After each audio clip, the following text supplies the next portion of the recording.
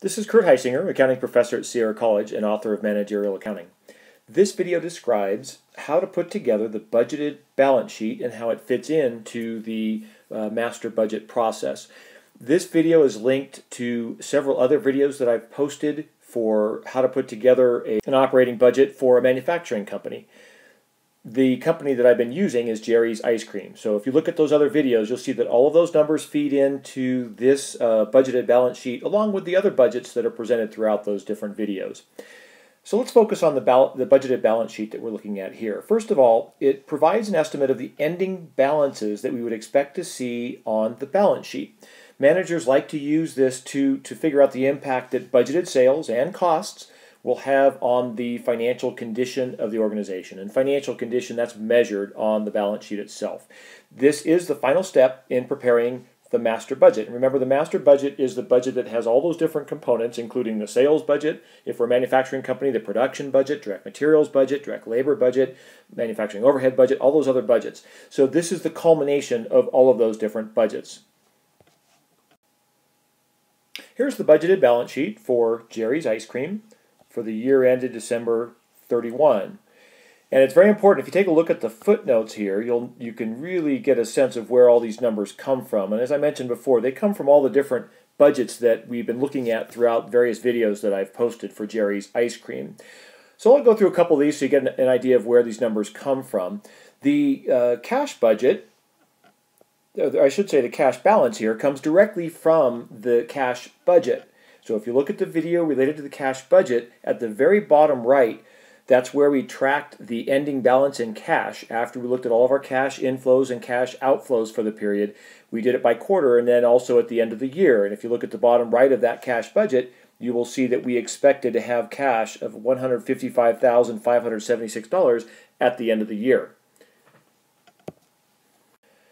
The next item you see here is accounts receivable. And that accounts receivable also, that balance also comes from the cash budget. The very top part of that cash budget had the projections of cash received related to sales. And we made the assumption, if you look at the first footnote down here, we made the assumption in that separate cash budget video that we would collect 60% of the quarter's sales in the quarter of sale, and that 40% would be collected in the following quarter.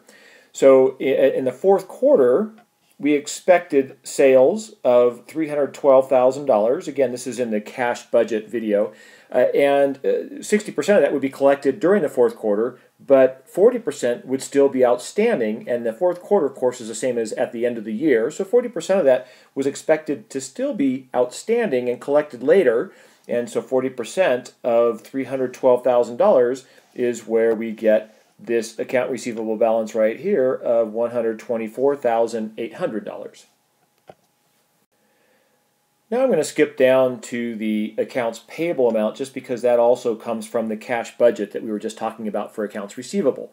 So accounts payable is very similar except it relates to purchases on credit rather than sales to customers on credit.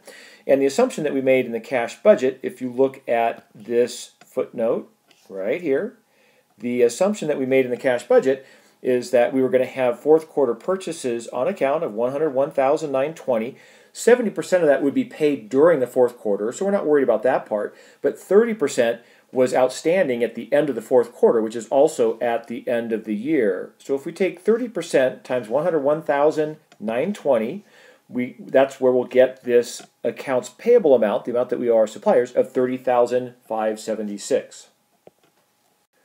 The inventory amounts that you see here uh, come from our uh, raw materials purchases budget and this one here, raw materials inventory, comes the raw materials purchases budget, and the finished goods inventory dollar amount here comes from our production budget. Each of those budgets shows that uh, in the raw materials purchases budget, for example, looking out at the footnote here, that we would have 20,000 pounds of raw materials at the end of the fourth quarter, which is also at the end of the year, and that our standard price per pound is a dollar. So that's where that that uh, raw materials inventory dollar amount comes from. And the production budget shows that we would we were expecting 4,400 of finished goods in inventory at the end of the fourth quarter, and that the standard cost per unit is uh, was four dollars and fifty cents. So we do the math on those, and that's where we find these numbers right up here. These inventory amounts: the twenty thousand for raw materials inventory, and the nineteen eight uh, nineteen thousand eight hundred for the finished goods inventory. And lastly, common stock. That number of six hundred fifty thousand dollars. That's a given.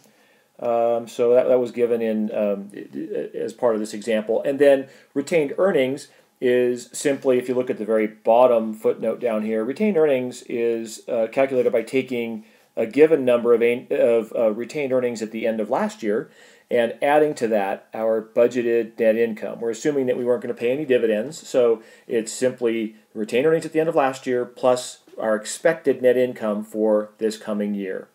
And that number is reflected right here in this retained earnings line item. So that's how we put the, the budgeted balance sheet together. It comes from a variety of places, from all these different budgets that we've been putting together uh, for Jerry's Ice Cream, and this is the culmination of all of that work.